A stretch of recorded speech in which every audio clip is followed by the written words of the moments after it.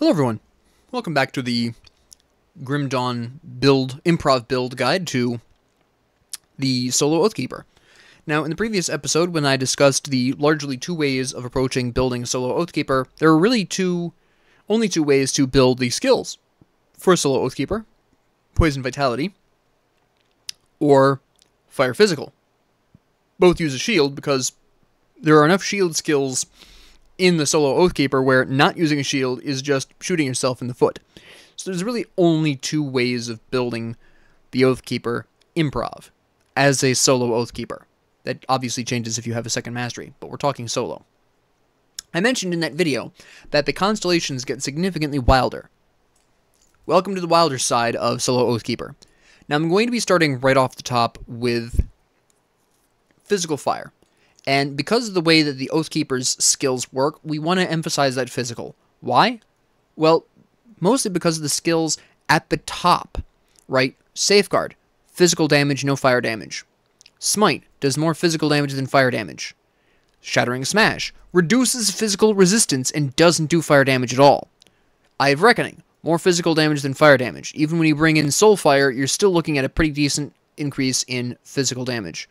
Vire's Might only does physical damage until you get the Volcanic Shroud, at which point it finally gets fire damage.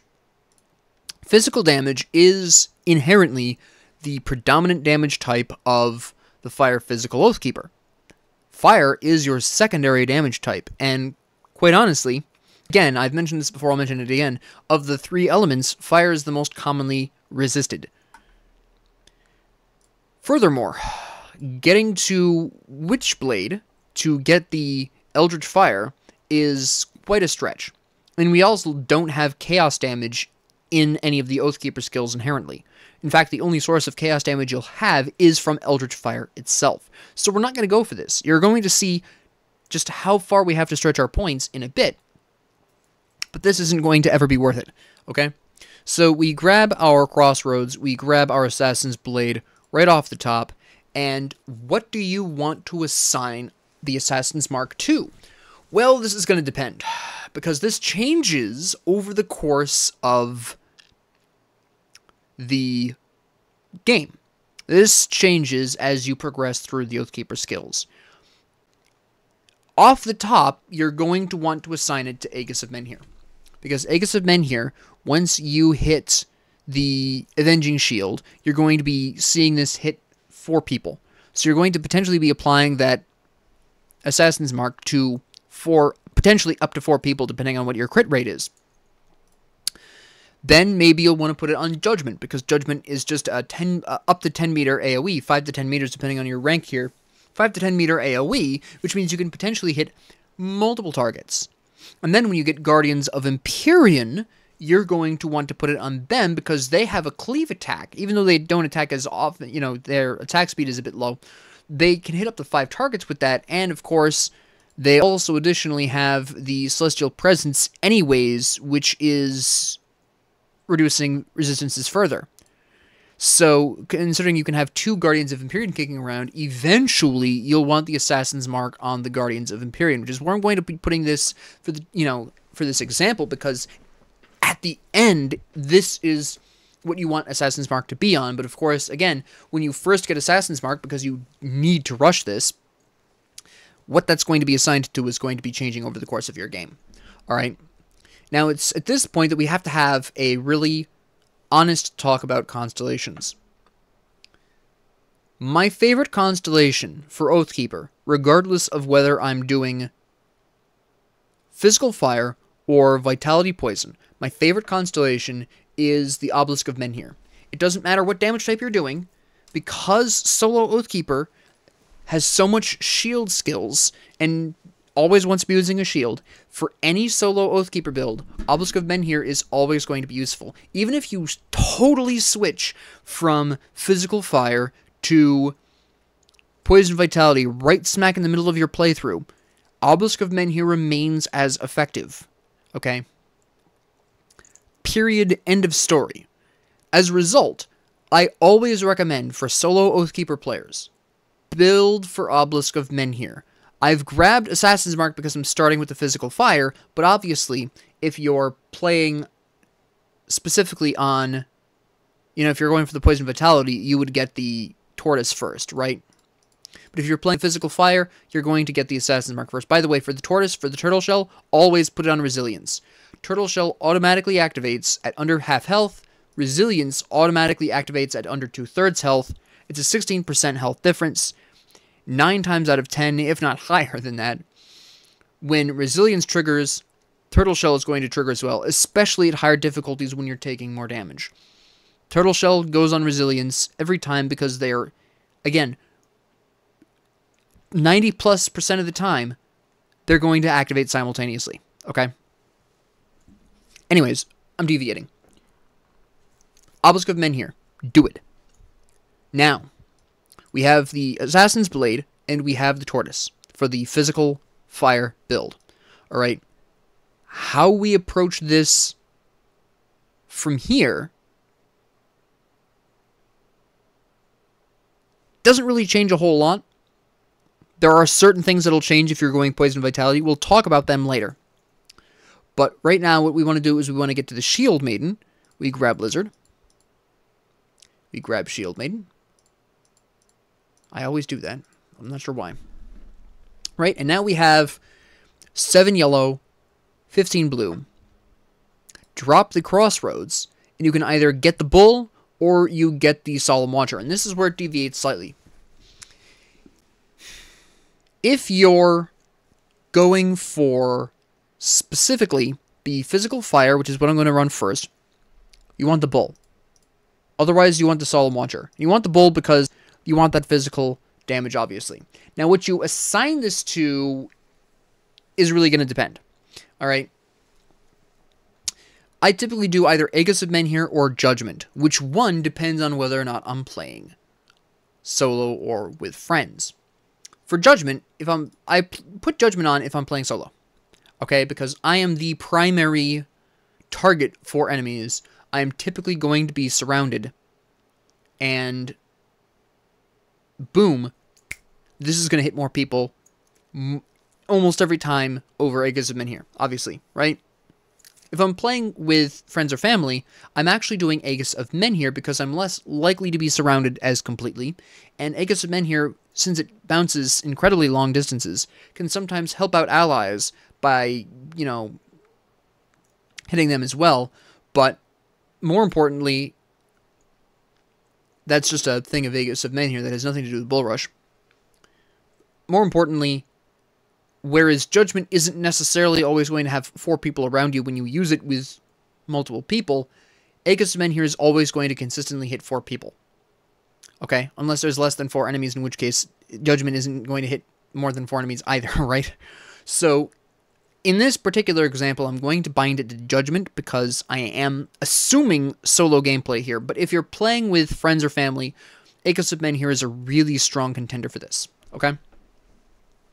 Now, you'll notice we have our eight yellow or white, depending on how you perceive that color. We need a little bit more blue. We go down to Harvestman's Scythe, because this is going to give us purple and blue, and we'll need that purple in a bit.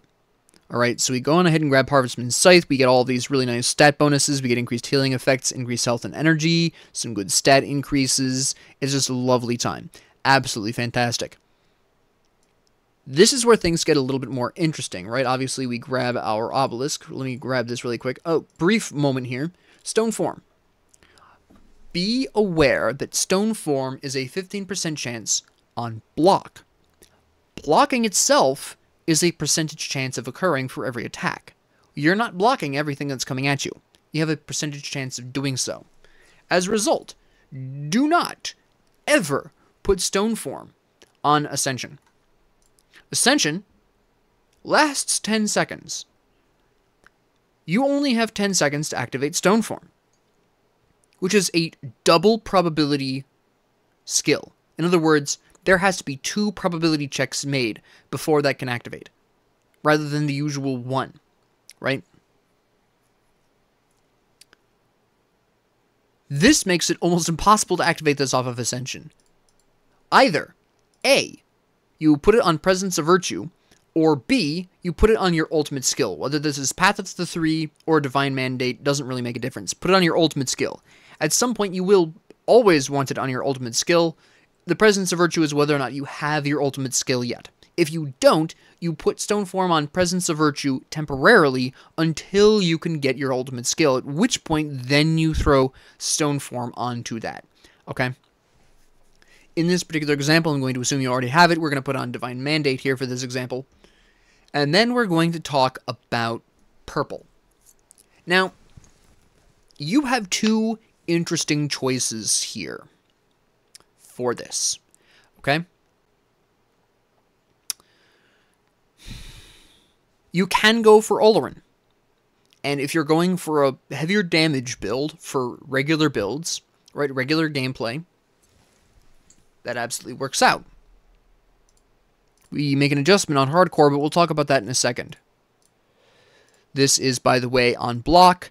You put this on Presence of Virtue. If your stone form is temporarily on Presence of Virtue, don't sweat it. Stone form is more important. Leave stone form on Presence of Virtue until you get your ultimate skill, then make the switch, then put Targo's Hammer on Presence of Virtue. It's fine. Grab the Owl for the old standby, because again, we're getting increased burn and internal trauma duration, which is lovely, which we love to see. We have increased total damage, we have increased uh, elemental resistance and decreased energy costs, we have a nice boost of stats there, and then we can get a lot of Oleron, right? Now, at this point, you have to make a choice. I recommend, at the very least, you go for the head. All right, you're getting increased internal trauma damage, you're getting increased offensive ability, which increases your crit chance, which everyone wants. You get increased max pierce resistance, which has never hurt anyone in the history of Grim Dawn. Which one of the remaining two you want, though, is going to depend. My personal preference for solo Oathkeeper is the hand, not Blind Fury. Why? Well, two reasons. You're going to be, as a solo Oathkeeper, you're going to be using a single hand weapon because you're going to have your shield, obviously.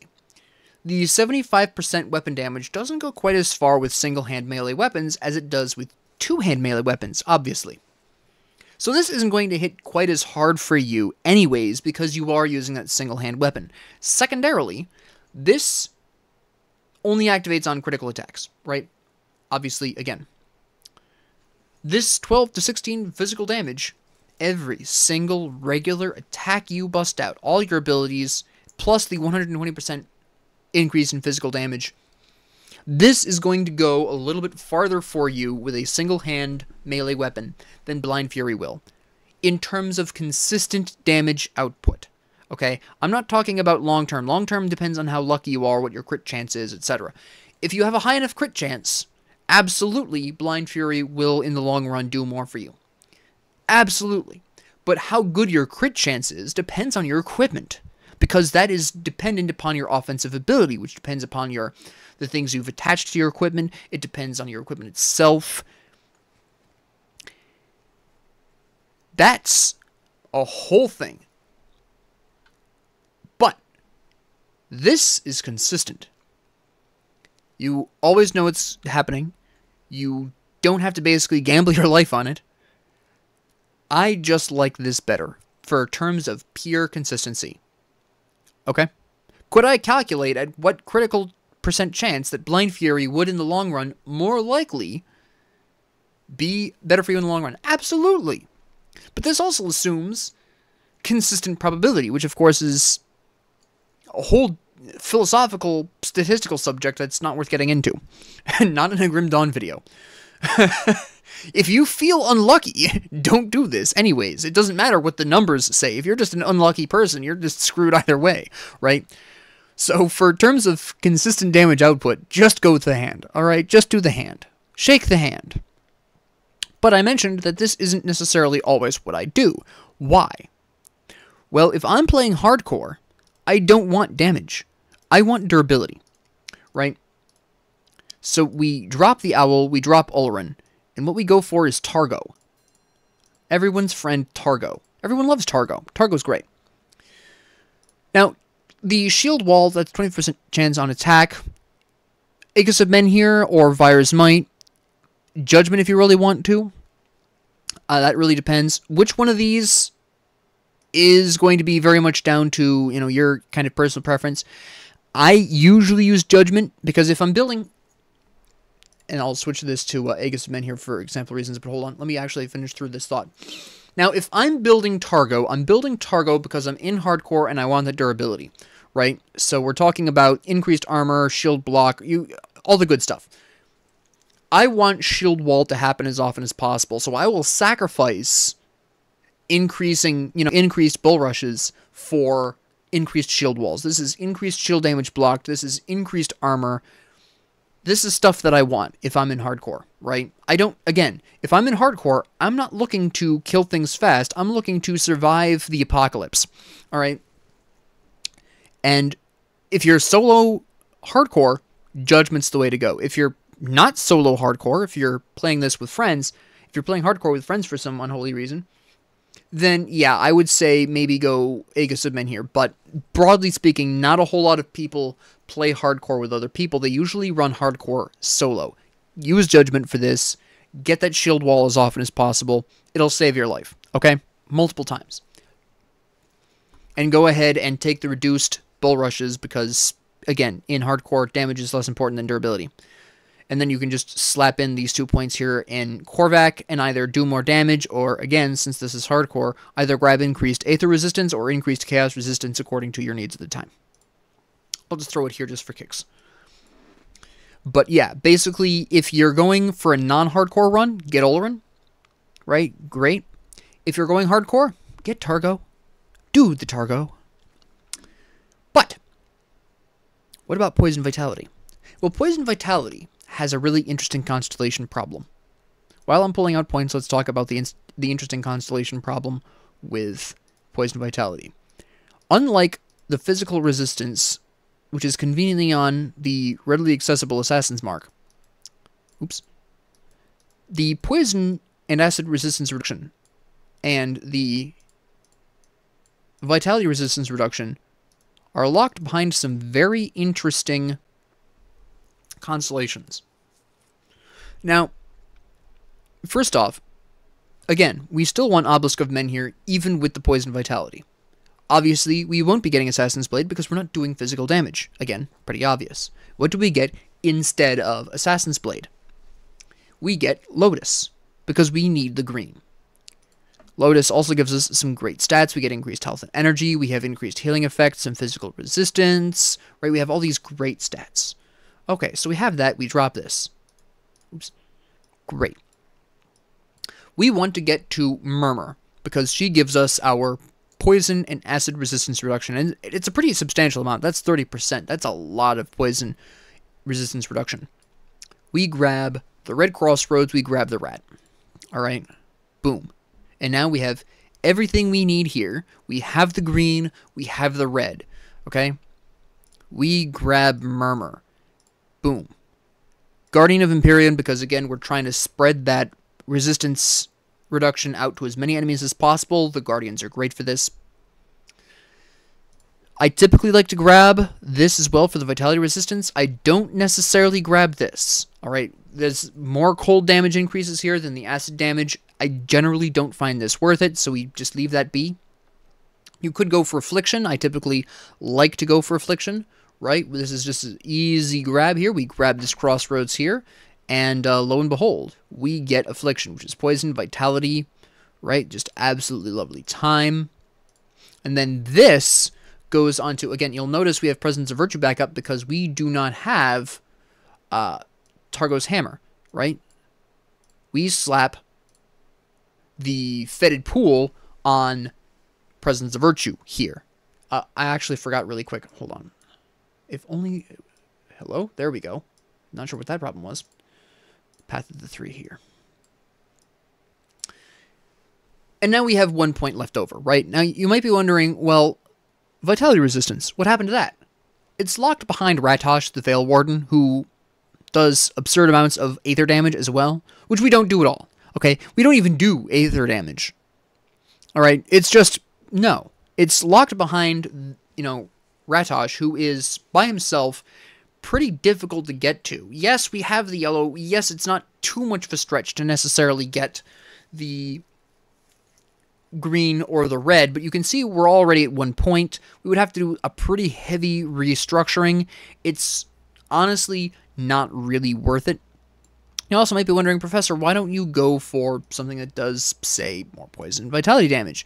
Well, the Abomination here also does chaos damage, which again we don't do. The only reason why we even go for Murmur is because she's really easy to get to, as I just proved, and she reduces the poison resistance by a really significant amount. Just like with the physical fire damage, um, Oathkeeper, where we ignored the fire resistance because it was too far out of our way to get to, it's the same thing with the vitality resistance, right? And also, again, when you look at the way the poison damage works here, or the poison and um, vitality damage, this is you know, Aegis of Thorns is doing the primarily acid damage. When you increase Path of the Three, you will notice that you have everything converted to acid damage, not converted to vitality. Vitality is there, do not misunderstand me, but it is very clearly the secondary damage type. The primary here is the poison and acid, right? Same thing here. Acid, we do get the vitality, okay? We do get that, but it's mostly acid. Okay? So we don't really actually need the vitality damage. The vitality damage is just to help us overcome enemies with really high poison resistance, which aren't that many enemies in the first place. But because acid is our primary damage type here, we want Murmur. Okay? We really want Murmur. We don't need anything else. And again, the abomination, that is quite a stretch. I mean, 18 green is really difficult to get our hands on, and as I've already mentioned, because of the way that con the constellations increase the poison and vitality damages, a lot of the times you're quite unintentionally mixing in damage types that you don't even do. We don't do cold damage, right? We don't even do that.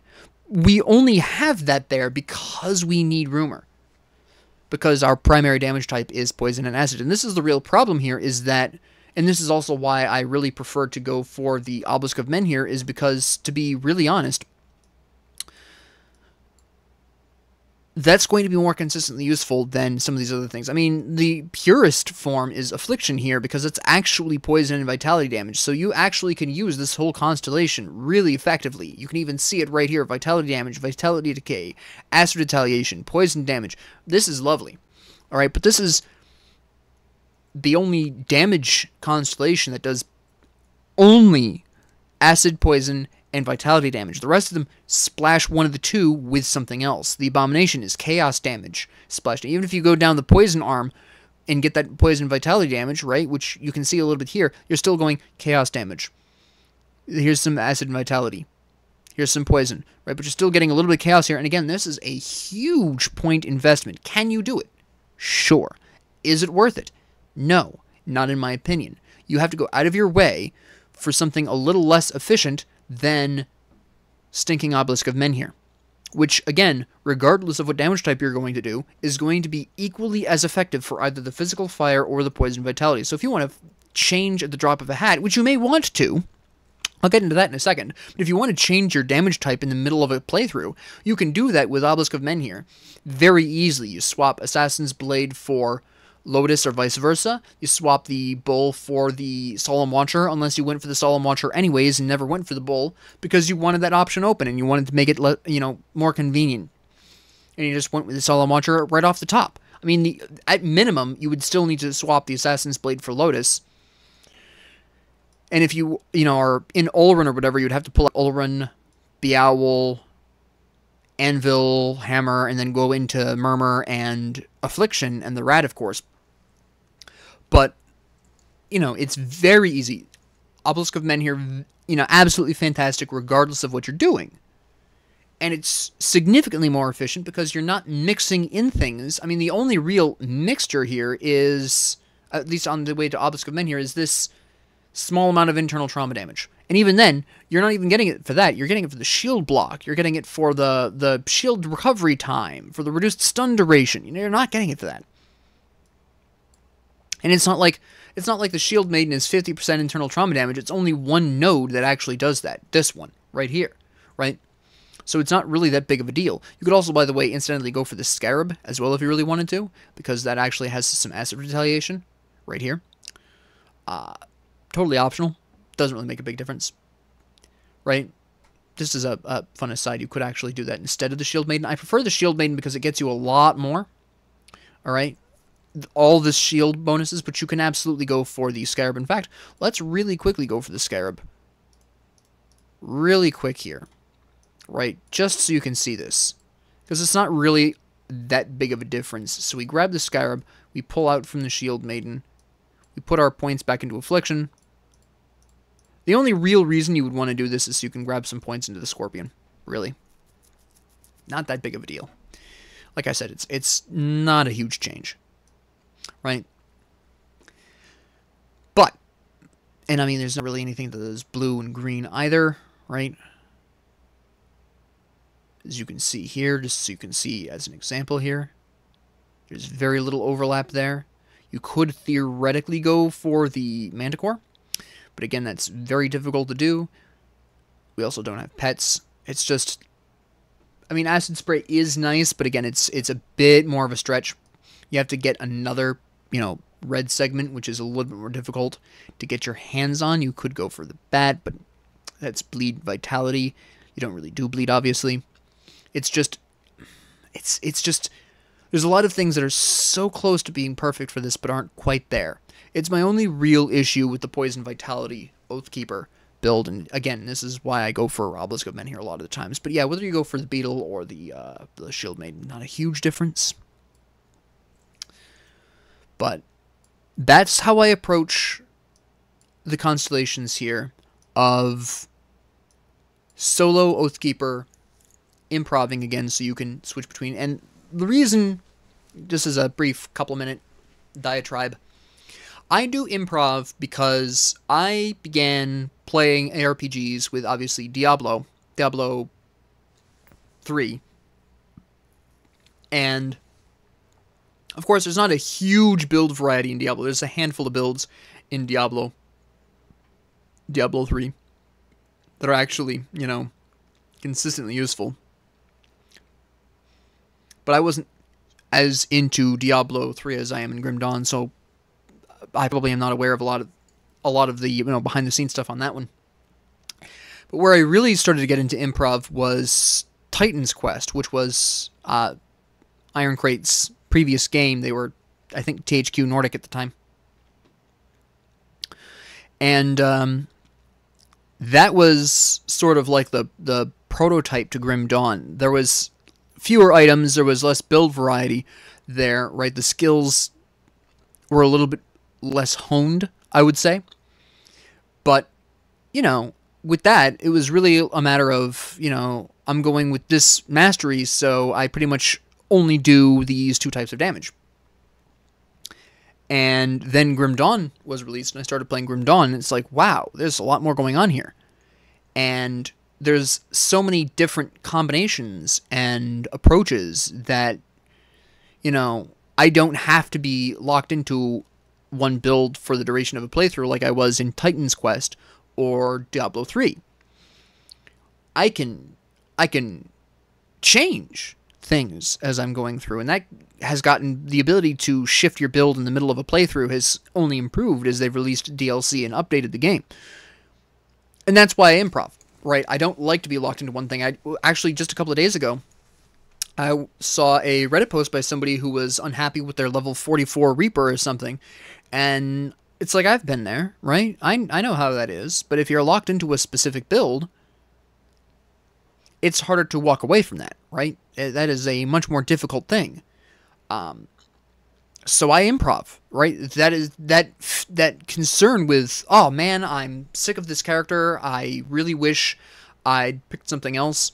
By running improv, even if you get tired of whatever you're doing with the character at the time, if you do it right, you are absolutely going to be able to shift that in the middle of your playthrough and have restored your faith in, you know, the master combination because it doesn't matter what master combination you are. At the end of the day, if you approach the building correctly, you can improv your way through the whole game and keep things fresh for you regardless. And that's gotten even easier with this update because you don't have to go through Elite anymore, which makes things a little bit faster, a little bit more hectic if you skip right to Legendary that's a whole conversation I'll have one day, uh, probably during my playthrough. Um, But yeah, that's why I like improv, and that's why I recommend improv. Also, monster infrequents are, in my opinion, the most powerful pieces of equipment in the game. Um, love those. I love the thrill of of trying to, you know, of of seeing a, a monster infrequent and looking at it and being like, can I can I make this work? can this happen? It's just that's that's just what I love about the game. Uh, a lot of the times I go semi-improv. I'll usually pick a monster infrequent to kind of run with. I'm actually doing a semi-improv with family right now, where I'm running a Barog's Bloody Arm semi-improv, where the only constant is Barog's Bloody Arm. Of course, I'm running Shaman Nightblade, and the only constant is Savagery. The rest of it's been fluctuating pretty frequently. I'm currently running uh, the Briarthorn, but I might not in the long run. You know what I mean? Um, I love it, but that's why I improv and improving really is easy with solo Oathkeeper because again, you can run Obelisk of Menhir and boom, you know, you it doesn't matter which damage type you go for, Obelisk of Menhir is going to be there and it's going to be as effective and you just have to change a constellation or two to shift over. I mean, a constellation or two towards Obelisk of Menhir Your damage constellations obviously require more reworking, but it's absolutely fantastic. But if you're improving solo Oathkeeper, this is how I approach my constellations. All right. This gets significantly more complicated as you tack on a second mastery because that changes the scope of your options drastically. Again, Oathkeepers, solo Oathkeepers don't have a hell of a lot of options, but that changes significantly with the addition of masteries, more so than a lot of other first choice masteries. But we'll talk about that in time. With that being said, though, Thank you all very much for listening and watching. If you liked this, please like and subscribe. If you didn't, please ignore me. And if you have any comments, questions, concerns, ideas, suggestions, or requests, please leave them down in the comment section below. And thank you all very much for joining me, and have a great 24 hours.